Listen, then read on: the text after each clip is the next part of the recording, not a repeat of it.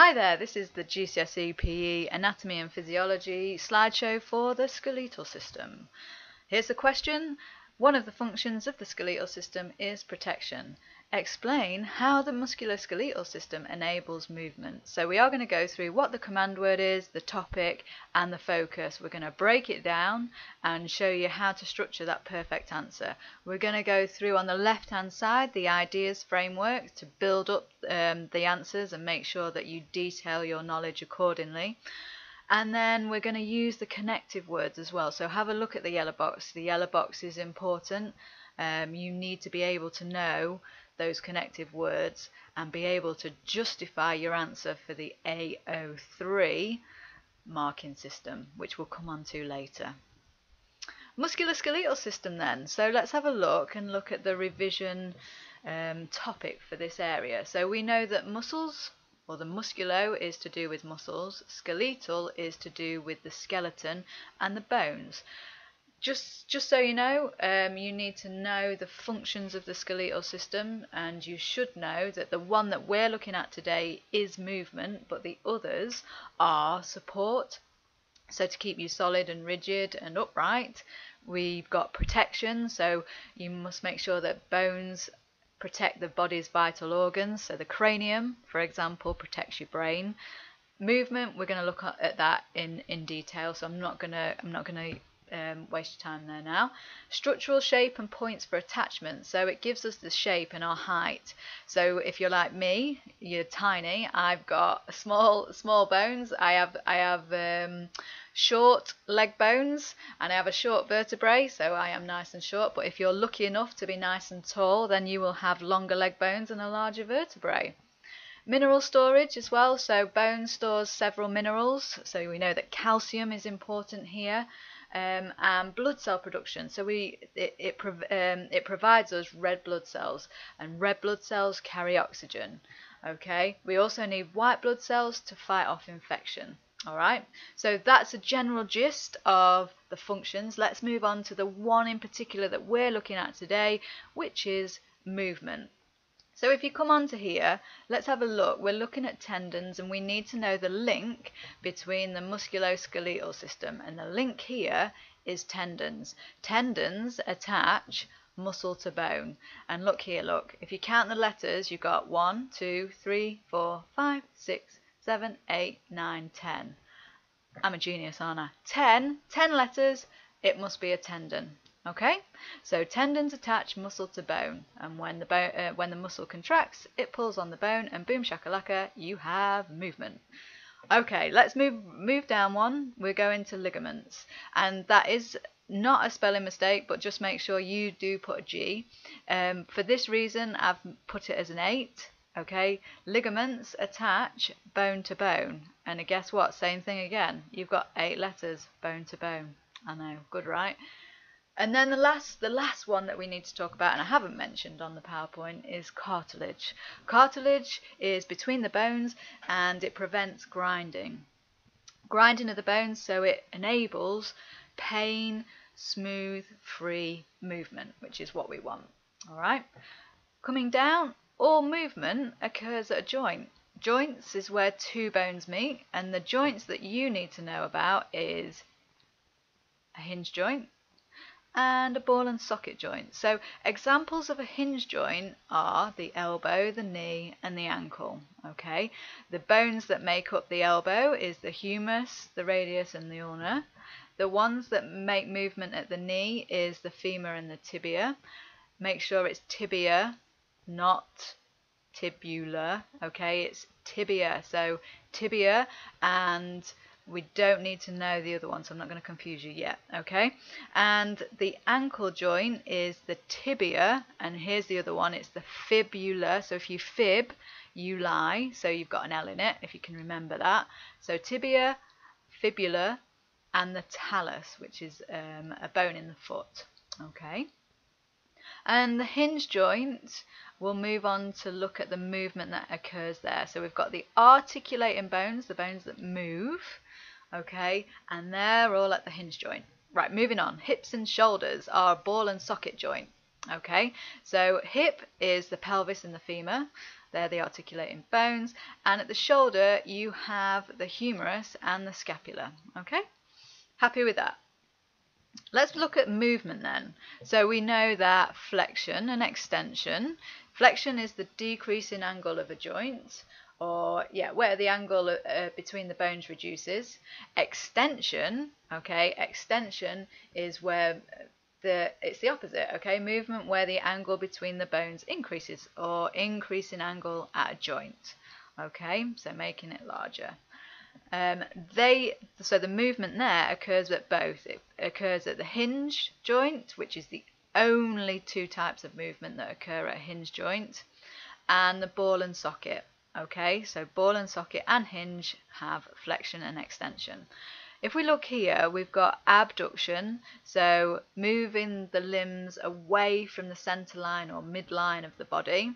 So abducting your arm outwards, okay, um, or abducting your leg outwards.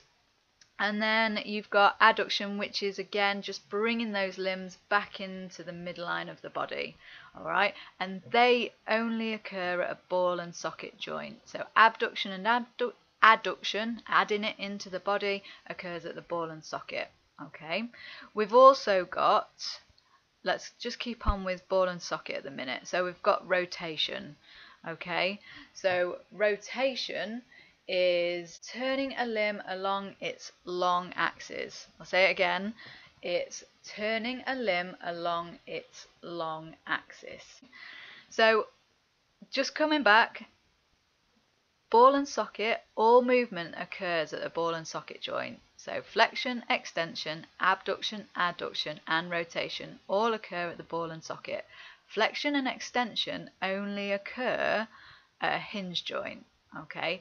And they only occur at the elbow and the knee because the ankle is slightly different. And coming down here, these are the two movements that occur at the ankle joint. So we've got plantar flexion, and dorsiflexion. Now, if you think of plantar as pointing your toes, so use the P in plantar for pointing your toes, okay, you should it should help you. And if you if you can think of a dorsal fin on a dolphin, that brings your foot towards towards the knee.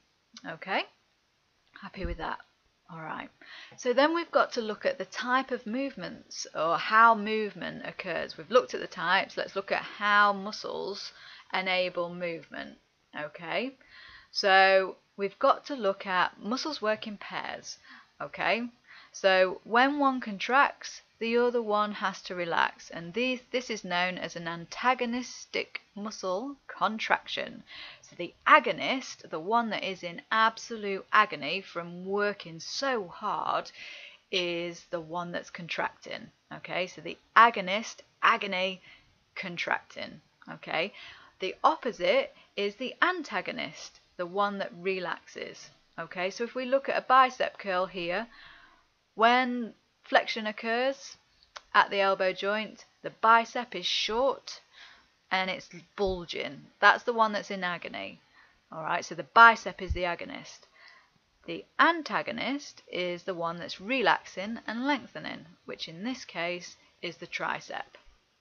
Okay, and then we've got two other contra uh, contraction types. We've got an isotonic contraction. This is where movement occurs, where, the muscles um, are moving, um, and isometric. Now, if you put an A there, it's where muscles stay the same length under contraction, and you can see that that the muscles are working hard, but they're not actually moving. So that's a great example. The crucifix or anything where you're holding yourself in position is an isometric contraction. Okay, concentric contraction is where muscles change length, they shorten under load. And in eccentric contraction is where your muscles lengthen under load. On a press up position, okay, where you're lowering yourself to the ground, the triceps would be the one that has to act as a brake. Okay, or in when you are jumping from a box, from a high box, and you're bending at the, uh, you're flexing at the knees, the eccentric contraction of the quads would act as a, as a brake. Okay, happy with that?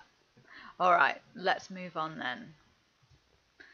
Let's break so let's break this down then. So I've already read the question, you can read for yourself. The command word is explain.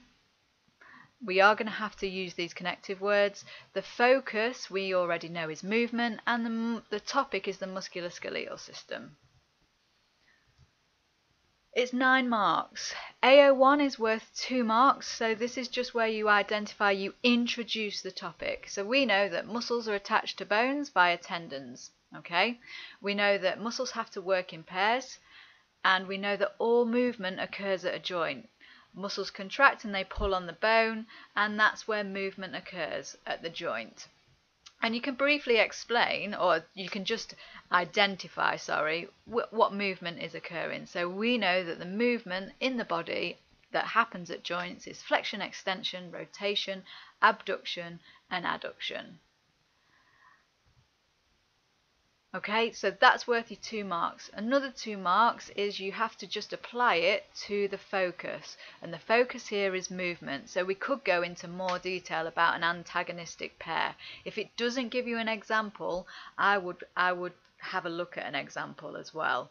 Um, so uh, an agonist, you know, is the one that's the muscle that's in agony, okay, which is the one that's contracting, it's the one that shortens. They might call it a prime mover instead of the agonists. It just means exactly the same thing, okay? When the prime mover contracts, the antagonist has to relax and it lengthens and we know that movement occurs at a joint, you could use the bicep curl, but I'm going to use a bicep curl later on in a specific question, so I'll go through that one later. Ligaments, we know um, attach bone to bone, they keep the joint stable and avoid this dislocation. So we don't want to um, have too much movement or we'd be in a lot of pain. Okay, and cartilage ensures pain-free movement. We've got to always bring it back to applying it to movement. AO3, so this is justifying why, what you've said is right. We're explaining. So this is where your connective words come in. So different joints have different movements. We've got a hinge joint that provides flexion and extension. However, the ball and socket allows flexion, extension, abduction. That should be adduction. Let's just change that there. And rotation. Okay, we've got long bones, like we said at the beginning. They um, provide big movements, and you can name some here. Okay, so you've got your femur in your legs, um, you've got your quads, you've got um, you've got your hamstrings. So don't forget your femur is your bone, and the big muscles are the quadriceps and the hamstrings. Quads at the front, hamstrings at the back. Small bones Small muscle groups, exactly the opposite, provide small movements. Okay, but building that up, hopefully now you will be able to get the nine marks on that question. Okay, just from breaking down. So movement, we've applied everything and we've brought everything back and explained how that movement occurs. And we've looked at bones and we've looked at muscles and how they link in order to make the movement occur. That's been musculoskeletal system. Goodbye for now. Happy writing.